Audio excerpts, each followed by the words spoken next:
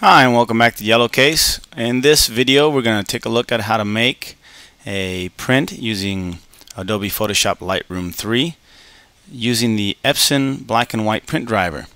And the reason I'm going to show this is unlike other printing videos where I've showed you how to use custom profiles, Epson has a built-in advanced black and white driver that produces beautiful black and white tone prints or neutral prints.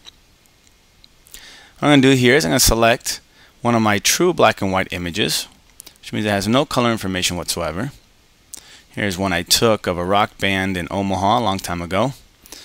And I'm going to select from the top right the print module.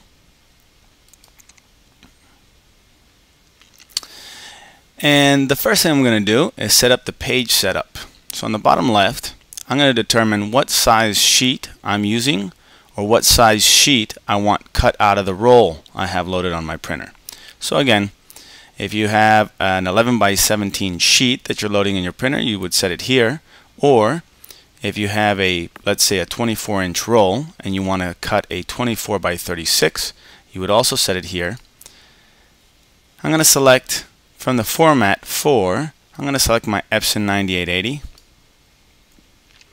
I can select my paper size if it's already set up. Now you'll notice up here uh, these are the default sizes that the Epson paper comes with. For example, that 11 by 17 sheet I was talking about.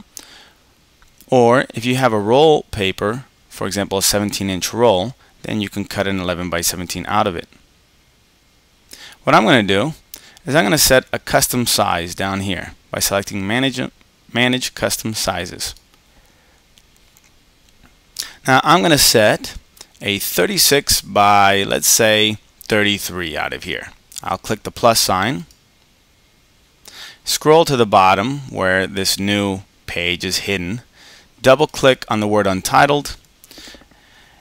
The first number I'm going to enter here is the width of my roll, which in this case is 36. So I'll say 36 for width times the height. I'm going to do a 24. So I'm doing a 36 by 24. I can either tab or click to get to this width size. Now keep in mind what I just typed in here, the 36 by 24 is just a name. It doesn't actually set, it doesn't actually tell Lightroom what size your page is. This is for your reference only. This area here is where we're actually going to be telling Lightroom what size page we're using. So once again, 36, I'll hit tab by 24, tab, and then I'm going to tell it uh, once more that I'm printing to my 9880 so that it knows what the non-printable area is. And the reason I'm doing that is that every printer has certain margins. Now there are printers like mine that has zero margin. I can print edge to edge on this one. But if I were to print to a different printer, I might have a margin of let's say a quarter inch all around that is non-printable. And Lightroom needs to know that. So once again, I named it. I created the page size that I want out of my 36 inch roll. I created a 36 inch wide by 24 inch high piece that's going to be cut out of that roll. So I hit OK. And by default, it selects that roll or that page size. The orientation, in this case, I'm going to keep it as portrait, and I'll explain why here in a second. If I hit OK, you'll notice that the roll is going to be long on one end, 36, and high by 24.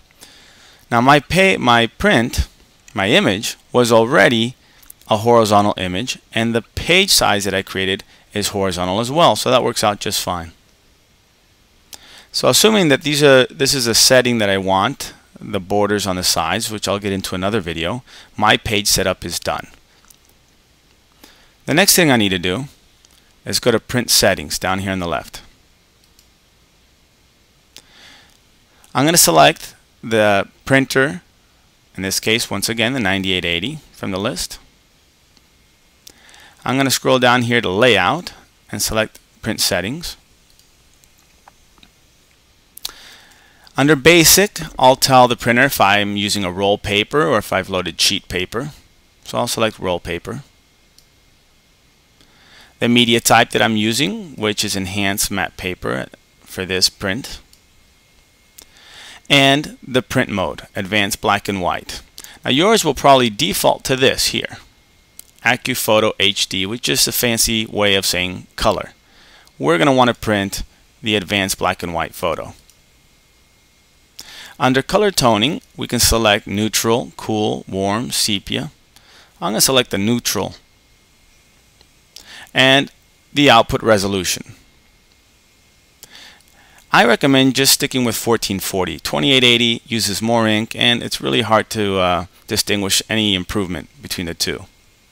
So 1440. High speed does just that. It actually prints it faster. And the way it achieves this is by printing in both directions, meaning it lays down ink when the nozzle moves from right to left and from left to right. I'm going to select Advanced Color Controls and you'll notice that by default the tone is set to darker.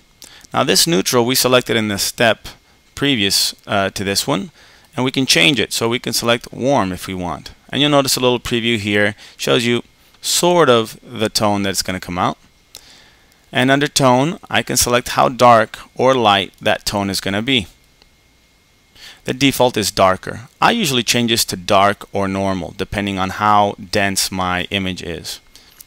You'll also notice that when I select to change either one of these, let's say to warm and then dark, on the bottom you'll notice that there is a uh, color wheel and there's a horizontal um, value and a vertical value. And if I adjust that, that changes. I can just click and drag on this little plus sign and tell it how much yellow, how much towards red I want, or towards the cool end, towards cyan and blue. If you move it and decided you did not want to move it, just go back up here, select warm again, dark, and it gets set back to where it was. You can always uh, adjust brightness, contrast, shadow tonality, highlight tonality, and more over on this end here, but I prefer to do this inside Lightroom or in Photoshop. I don't want to change my image values as it prints. I want to do it to my original. Once I'm done here, I click on Save. On the right side of Lightroom, if I scroll down, there are a couple settings here you want to make sure you have set. Now, where it says print resolution, it defaults to 240 in Lightroom. You can leave it at 240 or change it to the standard 300 ppi. Print sharpening, if you're printing on matte paper like I am, you can automatically have it increase the sharpness on output by turning this on and selecting whether you want low, standard, or high sharpening and whether or not you're using matte or glossy paper.